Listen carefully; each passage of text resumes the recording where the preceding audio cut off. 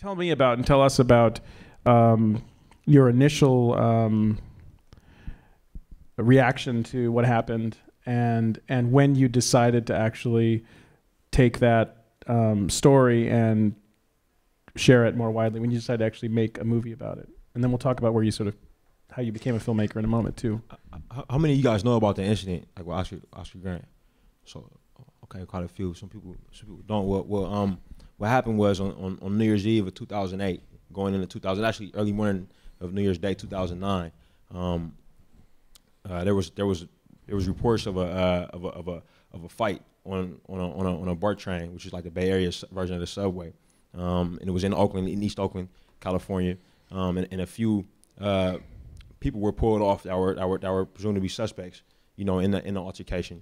They were detained by the police, and while they were being detained, um, one of the one of the guys who was whose name was Oscar Grant, who was 22 years old, was uh, was shot while he was face down on the concrete and being you know restrained by another officer. Uh, he was shot in the back and, and he died, you know, later on that day. And um, you know, I was in, I'm from the I'm from the Bay Area. I was born and raised there. Been there my whole life, uh, and, and I was I was on Christmas break from film school while I was you know during that time, um, and I was actually working as a security guard at a um, at a, at a basically like a rave. You know what I mean? Like this, this rave in Frisco, uh, and one of my buddies gave me a call and said, you know, somebody got shot at, the, at this BART station, and um, they kind of shutting it down. The trains aren't really flowing as fast, and we didn't really know what, what happened. And, and unfortunately, where we live, people people get shot, you know, all too often. Um, but but when we got when I got home later on that day, word came out that this guy was, was shot by a police officer, and later on in the days following, footage was released because everybody who was on the train, um, the train was held up, and people started to record. And um, peop you know, it's tradition in the Bay Area. It's almost like Times Square in New York. I've never been to Times Square, but I know everybody goes there for, for New Year's Eve. Um, in the Bay Area, everybody goes. Everybody goes to Embarcadero in in in in, in Frisco, um, and they, they watch the fireworks burst off behind behind the clock tower. So people, you know, fireworks are a visual thing. So people bring bring video cameras. They bring their cell phones. You know, um, and, and, and everybody who called Bart back when they saw what was happening with the police officers, because before Oscar was shot, he was he was he was punched a couple times. He was kneed. Um, people started to to record the officers. So in the days following, the footage from from from Oscar, Oscar being actually shot and killed became to be broadcast on the news, and it became available on the internet on YouTube from all kinds of different angles.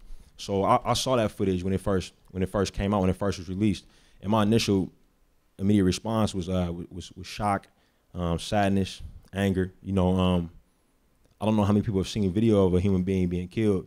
You know, um, but it's it's I mean it's one of those things that that that you never you wish you had never seen. You know, um, and I was the same age as Oscar. He was born the same year as me, dressed like me, looked like me on that on that grain, grainy pixelated footage. His friends looked like my friends. Uh, oddly enough, when casting the film, I cast it with a lot of people that I grew up with. A lot of my friends that kind of looked like his, and they fit right in. Um, so I couldn't help but to imagine, you know, me in his place. And um, what happened with the case later on was was that uh, it got it got highly politicized. Um, just to backtrack a bit, you know, being being an artist, when, when I'm whenever I'm emotionally affected by something, I think about it in terms of in terms of filmmaking. Is anybody here a musician? No musicians here. When you guys are affected by stuff, you might think about making a song about it, right? Um, or any, if anybody's a cook, you know, if people that cook things that you're close to, you might want to cook things like them. Um, same thing with filmmakers. You know, we, we make we make films about we think about things that that affect us emotionally, and, and we try to process them like that. anybody here a filmmaker want to be a filmmaker studying filmmaking okay Oh, amazing! That's really cool to be in a room full of filmmakers, man. Um, this is your competition eventually not even, man. It's not competition. It's, it's, my, it's my family. yeah It's my, my people.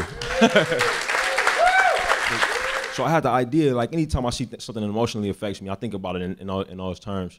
Um, but, but when I saw what happened afterwards, the case got really politicized, and people on different sides of the fence. Um, Oscar became whatever they whatever they wanted him to be for that, for whatever their political cause was.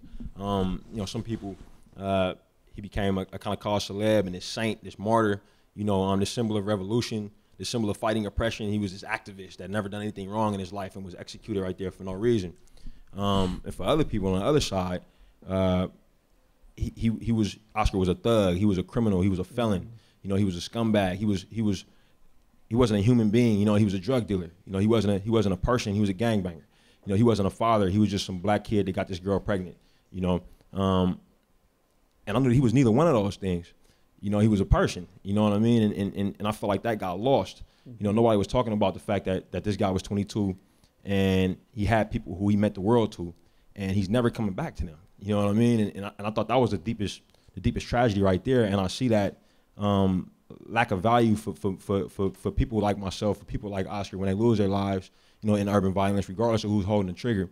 Um, and I figured that making a film about, like this from those intimate relationships that everybody can relate to might, might maybe might maybe help the situation. So that was where the idea came from.